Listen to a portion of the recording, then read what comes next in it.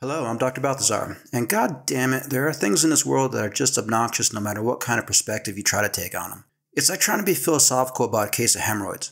Case in point, Amazon Studios' Rings of Power, who will be dropping season 2 sometime in the year of our Lord 2024. A show surpassed only by Netflix's need to blackface history as the most obnoxiously unpleasant hemorrhoid up the ass of digital streaming platforms today.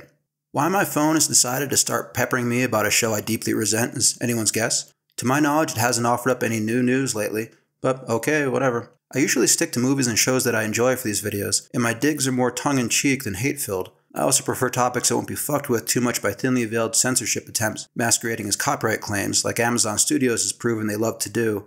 But on the other hand, I'm not analyzing this bullshit show, just offering a little advice on the back of some context. So maybe I can keep the rants within the bounds of reason. If you're sticking around, thanks for your time.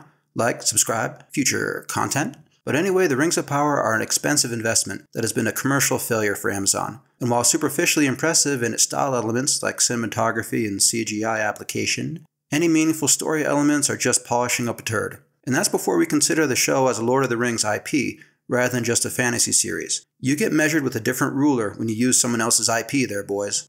So how do we turn that frown upside down for Tolkien fans? And make a coin or two for Amazon Studios out of this project in Season 2. Let's talk it through.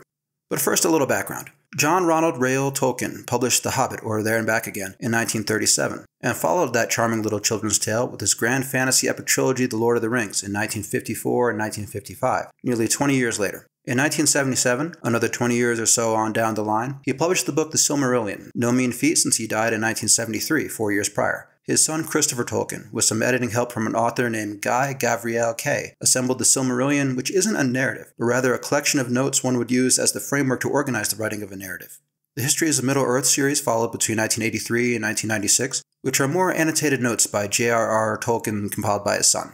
These books reveal the work of a man endlessly making changes to the world of Middle Earth and its inhabitants. So the first and second ages of Tolkien's world were never something the author himself felt like he had nailed down in a final format that was done for posterity.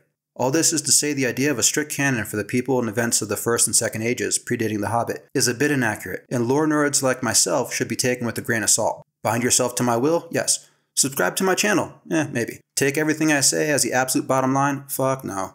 Anyway, The Lord of the Rings has a strict canon to observe. The War of the Gems and all that followed have a flexible canon to respect, not necessarily a strict one to observe. Which I've said for longer than I care to remember, makes it perfect for something like a miniseries. You have source material and a storyline framework that doesn't pin a writer down to ultra specific scenes, dialogue, and events, so they can inject a lot of their own vision into the plot, but still keep to Tolkien's world building. When word of Amazon getting to the Lord of the Rings business dropped, I hoped it would be the story of the First Age and the War of the Gems. The Silmarillion is not a good read. it's tough sledding, but it's great lore and a fantastic framework for stories that a competent writer can translate into narrative form. Like having a clearly mapped out set of destinations, one can use different routes and methods of travel to make their way through. When Amazon later said their series would be set in a second age, my reaction was, It was not what I wanted! But okay, fine. Less interesting than Feanor and Sons, The Sundering of the Elves, The Silmarils, Wars of Morgoth, and The Tragedy of Beleriand, but you can tell a story in a second age with a good amount of flexibility in how you go about it. I won't pitch a fit. But there's a fuck ton of difference between having flexibility of characters and plot and making the bullshit transformations of every person, place, and thing as created by Tolkien into the absolute disgrace pandering to the so called modern audience that emerged blinking and confused from the mud circa 2020. Now, to be fair, not all this is due to the professional incompetence, personal narcissism, and self aggrandizing need to incorporate allegorical social politics by the dipshits that produced the show. You're a joke. You would have been a bond salesman somewheres. You're the brother in law they make jokes about. A lot of fundamental problems are tied up with the tangle of intellectual property rights related to the works of Tolkien.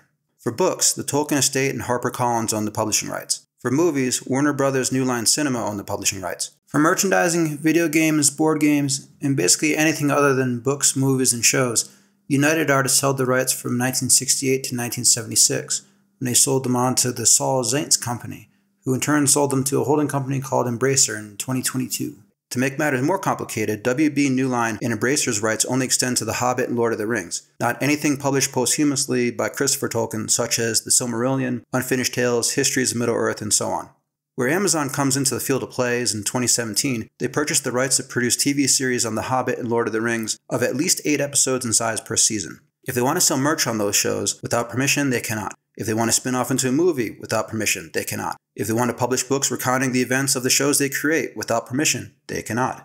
At least not without making separate deals with the groups that own the rights to those mediums. Where a lot of frustration with the Rings of Power comes into play is that Amazon didn't purchase the rights to the Silmarillion or any of the other literary works that describe events before The Hobbit. They only purchased the rights to The Hobbit and The Lord of the Rings. So they can create an 8 episode or longer television season set in the second age of Middle Earth, which seems to have been their intention from the start, use whatever characters and locations from Middle Earth that appear in The Hobbit and Lord of the Rings books to tell that story. But if it resembles anything that appears in the published works on the Second Age that isn't explicitly referenced in The Hobbit, Lord of the Rings, or the appendix to The Return of the King, they will be sued for copyright infringement and they will lose. This would be like purchasing the rights to the characters and locations of Harry Potter and the Sorcerer's Stone, but not the story itself. So if you made a Harry Potter and the Sorcerer's Stone movie as it appears in the book by J.K. Rowling, you would lose a copyright infringement case because those were not the specific intellectual property rights that you purchased. Now, if you decided to move forward anyway, making your version of Harry Potter and the Sorcerer's Stone as an homage to the Country Bears Jamboree or something, with a non binary Harry Potter, a Thai ladyboy playing Ron Weasley, LeBron James cast as Hermione, and change Hogwarts from a school into a submarine, you wouldn't be sued for copyright infringement since you didn't tell the story from the book but the reaction of Harry Potter fans will still be on you for being a fucking moron. Maybe, oh, I don't know. If you want to tell a story about Middle Earth in the Second Age, purchase the rights to the story of Middle Earth in the Second Age. Just a thought. I'd be curious as to the rationale behind the specific types of rights they acquired from the Tolkien estate, but I'll just infer the people at Amazon are fucking imbeciles until I'm presented with some meaningful evidence to the contrary. There is a certain irony to be appreciated in all this. The Rings of Power Season 1 successfully told a story set in the Second Age of Tolkien's Middle Earth when they did not have the rights to do so and they weren't sued. That means if you removed The Lord of the Rings from the title and muted the name of any person or place in the show, you could re release The Rings of Power as is, with no changes of any kind, and not be sued by the Tolkien estate for copyright infringement. It has that little to do with Tolkien's Middle Earth. Amazon couldn't tell Tolkien's story even if they wanted to. They didn't want to even if they could have. And the story they told made no attempt to respect Tolkien's characters, world building, or lore in any way whatsoever, so, why did they flip up $250 million for what amounted to window dressing in the form of some brand recognition in the show's title? Without the brand recognition, you could argue the viewership numbers would have been greatly reduced.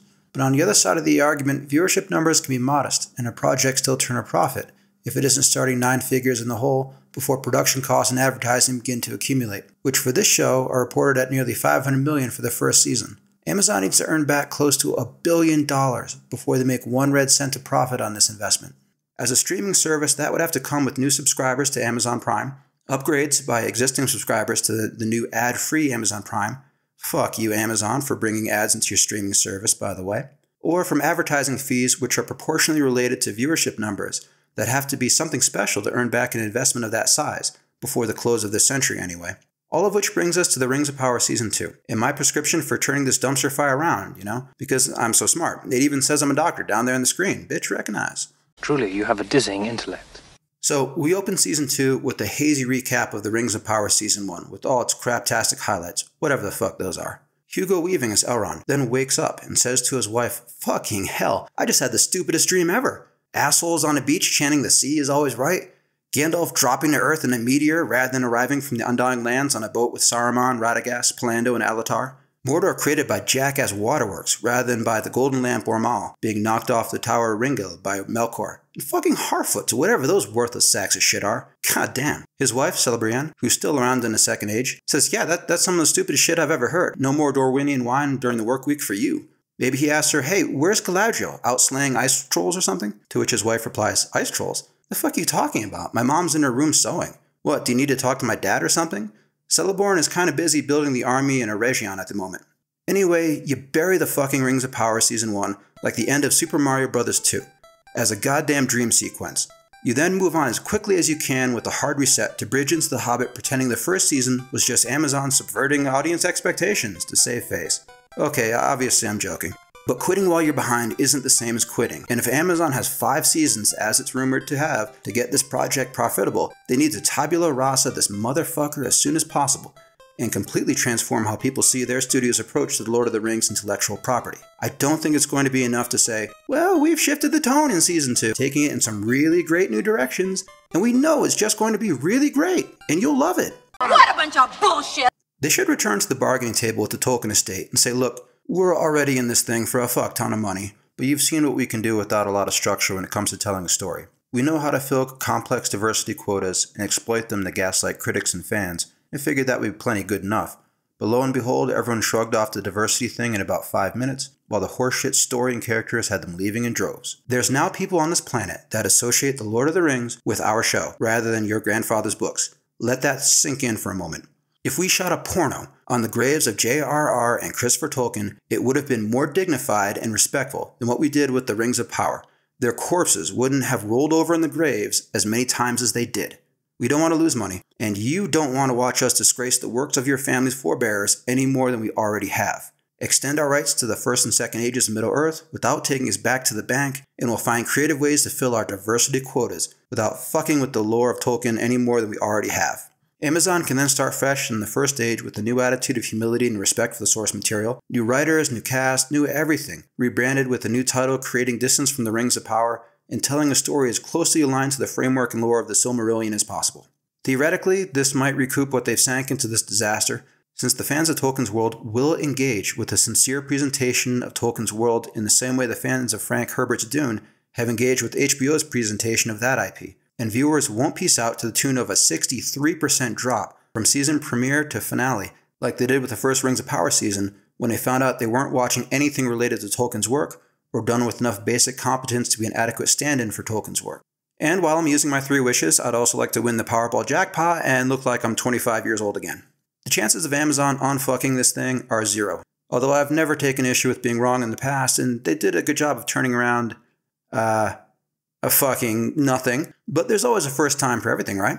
Whether the fan reaction to season 2 is one of rancor or indifference is probably my sole curiosity. Best guess, it'll be indifference, but we shall see. For those that love The Lord of the Rings, obviously my prescription is Peter Jackson's original trilogy. For those trying in vain to get some value from Amazon Prime's streaming service, my prescription is the PBS Masterpiece Theater detective show Endeavour. The villain doesn't always have to be the white male every single time, so the mystery isn't solvable within 5 seconds of the opening credits, which is refreshing. And for those that like the Rings of Power, a kaleidoscope. I don't think them people need much besides some shapes and colors shifting around in a box to be pretty well contented. Anyway, I'm Dr. Balthazar. Like what you like, don't what you don't. It's all your call, Kemosabe. Take it easy, everyone.